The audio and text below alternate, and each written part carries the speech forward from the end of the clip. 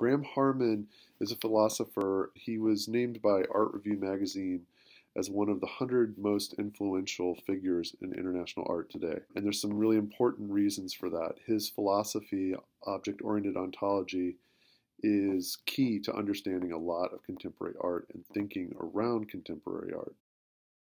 So, we all read The Third Table, which was an essay written by Harman for an exhibition in Germany called Documenta 13 in 2012.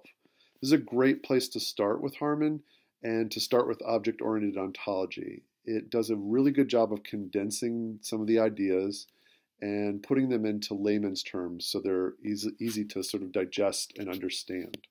But if you want to go a little bit deeper, really a lot of bit deeper, you should read Object Oriented Ontology, A New Theory of Everything. This book is thick, and I don't mean length, I mean it's just dense with ideas. It's really a book that anyone who deals in the currency of metaphor or objects should read. So there's not much time here. I'm just going to cover maybe one idea, and it was brought up in the third table. That is the idea of the durability of objects. And what is an object? An object is something that can't be boiled down to its parts, and it also can't be expanded out to its ideas. An object lives in a third place. That's why he calls it the third table. One of the things he talks about is he talks about the Dutch West India Company. And the Dutch West India Company lasted for, I think, 200 years.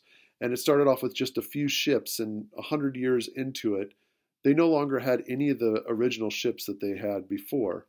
But we would still call it the same company because it's a clustering of ideas and objects that come together to be the Dutch West India Company.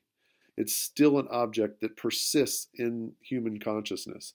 So that object has not died. It's still durable. It still exists, the Dutch West India Company. And that's an idea that I think is really interesting. So, how does that relate to my work, and how does it relate to uh, the work of Nari Ward? So, let's take a look at my piece and one or two of his pieces as well. This is a piece called Edit. I did this piece over the fall. It was an interactive piece in which I set up a situation in which the audience had to edit the piece. So on a table were 10 objects, all different shapes and sizes and surfaces. Each object had an image next to it.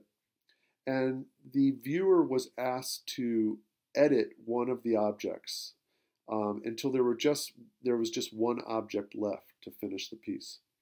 So they were asked to take that object, log it, and then destroy the object. The piece ex- explored ideas of the durability of objects, whether or not the object disappears after we've destroyed it, or whether or not it, it persists because of the documentation and because of the interaction that this group had with that object.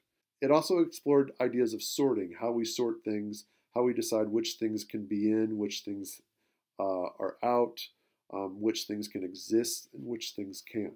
One of the things I noticed was that it was a sort of natural response for viewers of this piece to start connecting this process to the way that we treat one another as humans, the way that we sort one another, the way that we discard one another, the way that we make decisions about who can be in and who can be has to be out. So I think that was a powerful thing. One of the artists that I saw in New York that really moved me was Nari Ward at the New Museum.